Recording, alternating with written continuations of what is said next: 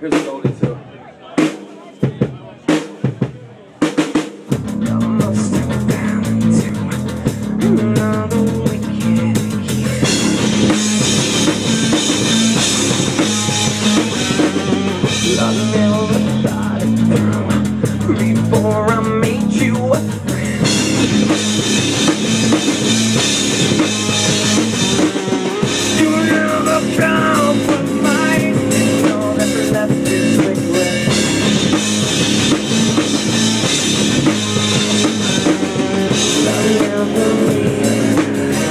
really